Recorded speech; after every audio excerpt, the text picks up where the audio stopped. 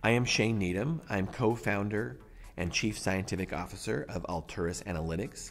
We are a bioanalytical CRO that's focused on LCMSMS and GCMSMS bioanalysis. So at Alturas Analytics, I'm co founder and chief scientific officer, and those roles go hand in hand, but they are a little bit different. As chief scientific officer, I work very closely with our science team and our marketing team to understand what do our sponsors need for new assays, new technologies, new developments. What do they need so we can create better assays for them that will be higher quality, more sensitivity, and actually faster as well to get them the turnaround times that they want even quicker, but still have that high quality. And so I work closely with the scientific team to develop new technologies, work with vendors um, and vendors work with us to see what those new technologies are. So, whether it be microflow or um, sample preparation for large molecule bioanalysis, many different things, microsampling. Vendors come to us and we work closely with them, and I work close with our scientific team to make sure that those technologies are applicable to our assays and our sponsors can use them. Probably originally interested me in mass spectrometry was as an undergraduate doing studies in the laboratory is I saw the power of GCMS.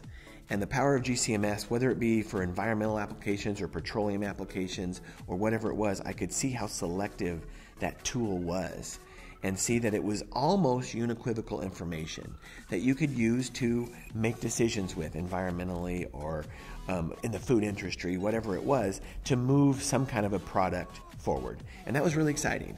And then after my undergraduate studies, I my first position was at Pfizer in Groton, Connecticut, in their research headquarters at that point.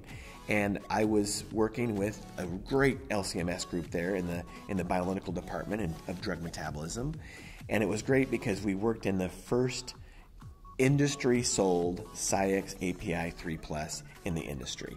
And so that was really, really fun to work in that in a good group. And I could just see the power of connecting HPLC, the selectivity and the versatility of HPLC with a high vacuum mass spectrometer. That was incredible at the time.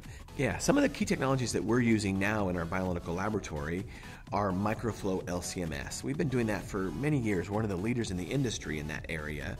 And microflow has been a, a really good tool for us, not only to improve the sensitivity of assays, but especially as, as things such as microsampling come on board and smaller samples are available, it really it's coupling small sample analysis with microflow and with really the advantages of low flow with ESIMS. And so that's been very, very key to us. And we also use those technology, that technology, microflow, in conjunction with now what's really growing in our laboratory, large molecule bioanalysis. I spoke of some of the advantages of those techniques. Again, I think everything in the industry, really globally, is starting to become smaller and smaller. We want to use less and less, and so we want to use less sample. We want to inject less. We want to we want to use less solvents, and so that's one reason microflow is being used, and it's really good in conjunction with large molecule bioanalysis. And so that's the advantage is we get we improve sensitivity, we reduce solvent costs, we reduce we reduce solvent usage. That's always green. That's really good for the environment, and it's good it's good economically. The disadvantages are whenever you apply a new technology in a regulated bioanalytical laboratory, there has to undergo a development phase. Um, a also is this going to work phase? You know what is this going to work in our laboratory? How is it going to work? And can we validate it? And how do we replace our current assays that are not microflow, that we have thousands of assays with? How do we maybe slowly revalidate some of those assays if it's necessary? And so it's just a, a slow process. I think that's good. It slows us down and it makes us make good decisions. And, and, and we can use those technologies with large molecule bioanalysis. And the same thing is that it's it's such a growing application now with large molecule bioanalysis LCMS that we're constantly learning how to improve selectivity, whether it be whether it be offline separation, immunocapture online or offline, um, even solid phase extraction techniques, immunodepletion, all kinds of things. That what can you do to make that assay better? And so, really, the advantages outweigh the disadvantages as we as we move forward. But really, it's in a regulated environment. How do we make sure that these tools that we're using are going to be also applicable five years from now. I see the continued use of more micro techniques, whether it be micro sampling, microflow. I think, again, globally, not only in our own pharmaceutical industry and the bioanalytical industry in general, but things are miniaturizing. Things are becoming smaller. We're using less and less, and that's a really good thing. So I think microflow LCMS MS is going to become even more popular, and I think that's a really good thing. I think integrated sources with integrated HPLC is going to become more popular. I think that, again, that's part of the miniaturization, I believe.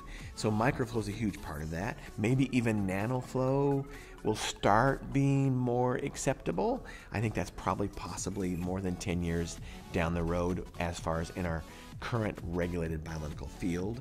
And so that's what's going to continue. And I think especially large molecule analysis, whether it be new biological entities, biomarkers, whatever it is, and it might be the top-down approach, middle middle approach, middle up approach, or the, the bottom up approach, is we're going to see a lot more LC-MS/MS applications of large molecule analysis.